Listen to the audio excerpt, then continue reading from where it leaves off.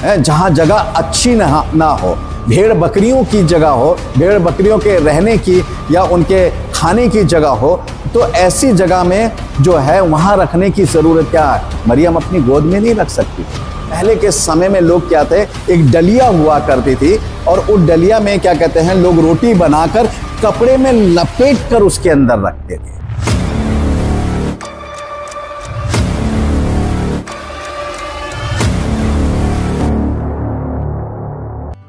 प्रभु यीशु मसीह के मधुर नाम में आप सबको जय मसीह की। प्रभु आप सबको बताए से आशीष दे, आमीन। हम बात कर रहे हैं प्रभु यीशु मसीह के जन्म के विषय में। और प्रभु यीशु मसीह के जन्म की आप सबको हार्दिक बधाइयाँ हों। हम बात करेंगे आज चरनी के विषय में।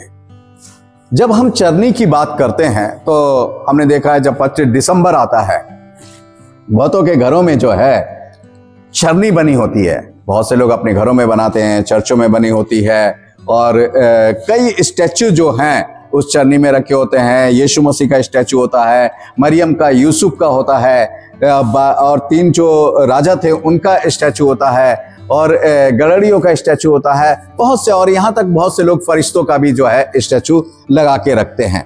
मगर क्या आपको पता है कि चरनी का अर्थ क्या होता है? अब आप कहोगे, जी हाँ हमें तो पता है।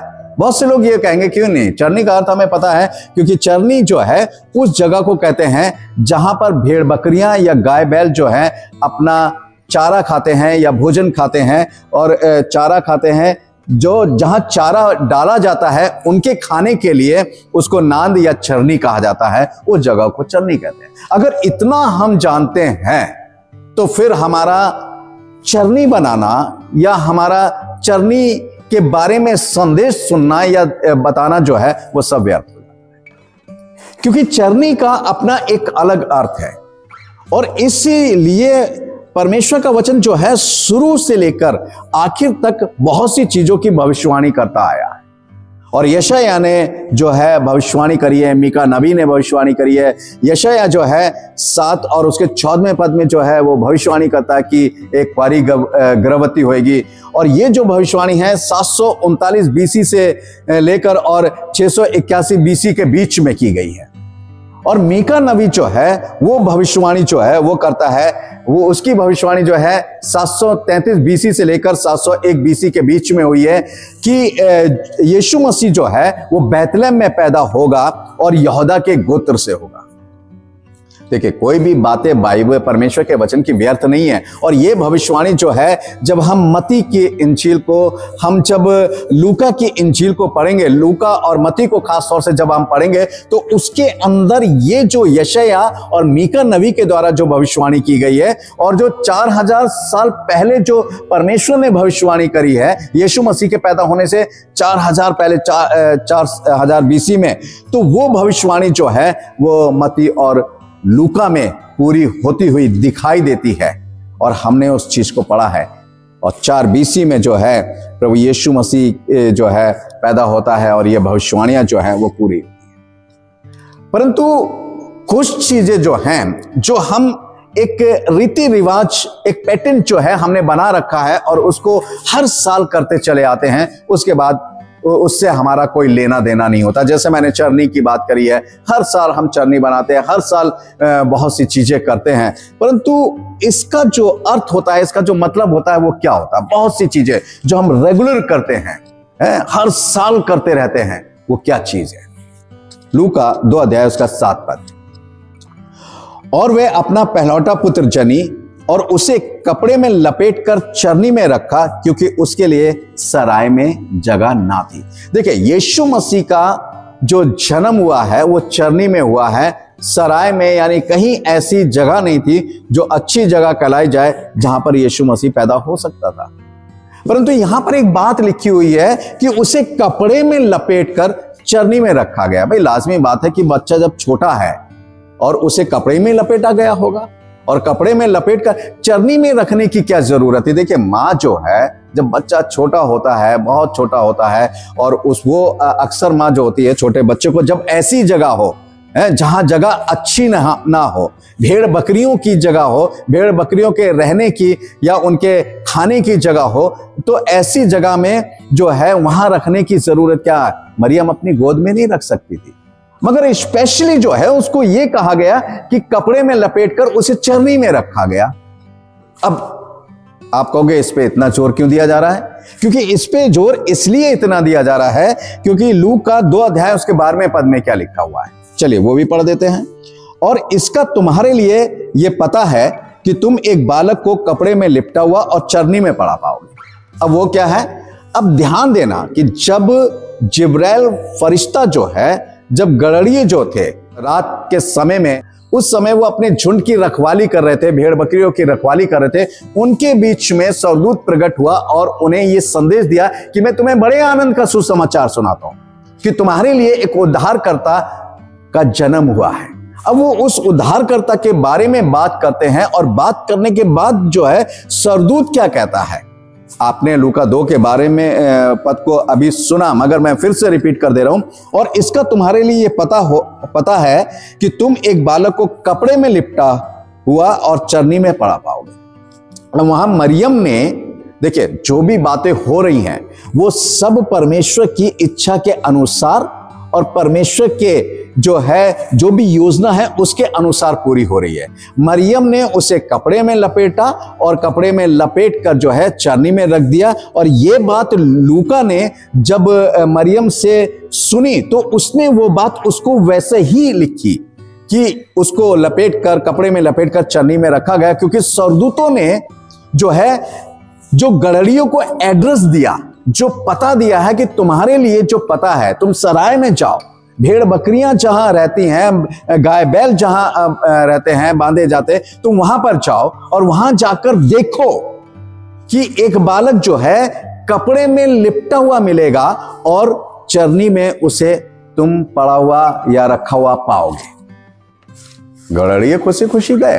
उन्होंने देखा हाँ भाई, बात सही है। चरनी मतलब जो नांद है, जो भेड़ बकरियों के खाने का जो स्थान होता है, उसके अंदर यीशु मसीह को जो है, कपड़े में लपेट कर उसके अंदर रखा गया अब उसके अंदर रखने का क्या है? अब ध्यान दीजिएगा, मैं पहले से कहता आ रहा हूँ कि भेड़ बकरियाँ या गाय बैल जो भी हैं, उनके खाने के स्थान को चरनी कहते हैं या नांद भी कहते हैं।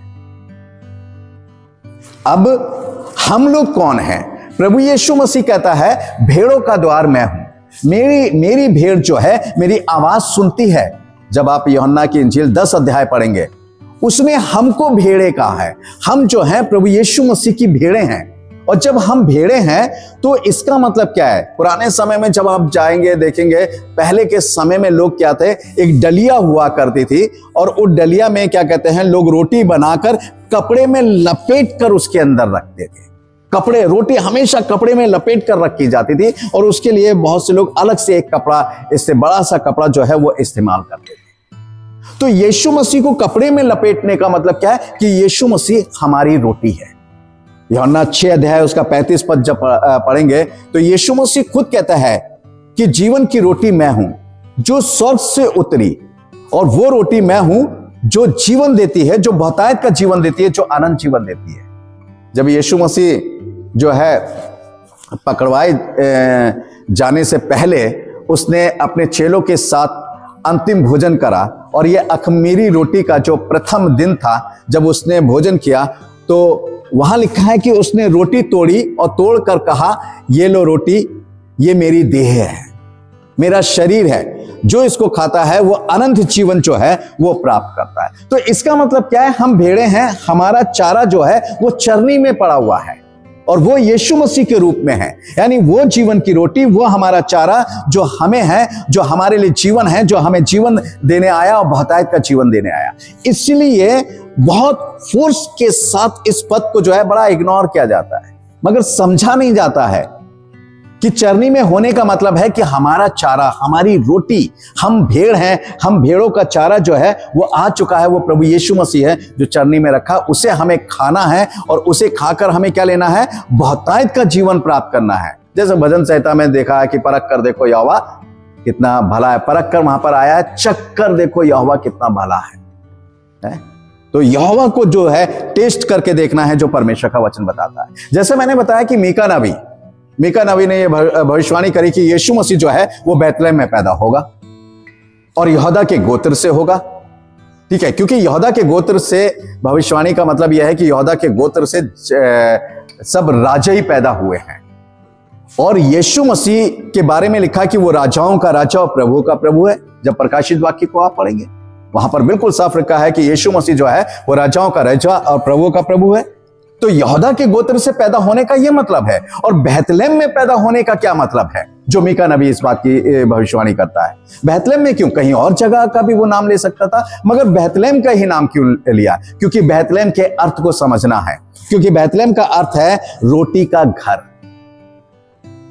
हमारी रोटी के घर में जो है, वो यीशु मसीह रखा गया, यीशु मसीह पैदा हुआ। वो रोटी जो है, वो बेहतलेम में पैदा होनी थी, क्योंकि रोटी के घर में ही रोटी आनी थी। और वो जो है, यीशु मसीह आया और वो यौना छह पैंतीस में क्या है? जीवन की रोटी में। और वो आया, मेरे और आपके लिए, हम जो भेड़े हैं, हम जो चराई की भेड़े हैं, हमारा चारा बनकर आया, रोटी के रूप में आया, जिसको हम ग्रहण करते हैं और खाते हैं और आनंद जीवन प्राप्त करते हैं।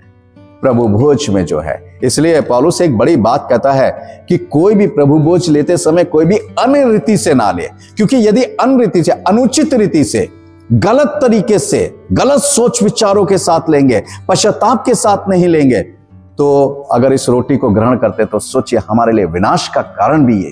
वो कहता तुम्हें बहुत से दुखी, बहुत से बीमार और बहुत से जो है सो भी गए, मर भी गए तो मेरे प्यारे भाइयों बहनों, चरनी का जो है सही अर्थ यह है। इसलिए हमें चाहिए कि हम चरनी के अर्थ को समझें। चरनी को सिर्फ़ घरों में सजाए ना, चर्च में सजाए ना बल्कि उस चरनी में जो चारा के रूप में है, जो रोटी के रूप में है, जो कपड़े में लिपटा हुआ है, उस कपड़े को खोल खोलें और उसको ग्रहण करें। यीशु मसीह को ग्रहण करें अपने जीवन में, उस रोटी को अपने जीवन में लें, जिससे जो अनंत जीवन उस रोटी से मिलता है, बहुतायत का जीवन मिलता है, उसको प्राप्त करें। क्योंकि अगर इसको प्राप्त नहीं करेंगे, अपने हृदय को चरनी बना लीजिए। यीशु मसीह को वहाँ पैदा होने दीजिए। ताकि वो हृदय में बसा रहे। चरनी घरों में नहीं चरनी चर्च में नहीं चरनी कहीं और नहीं चरनी हमारे हृदय में होनी चाहिए। ताकि हम कहें हाँ प्रभु, हम भेड़ हैं और तू हमारी रोटी है और हमारे अंदर है। प्रभु, आप सबको आशीष दे। आमीन।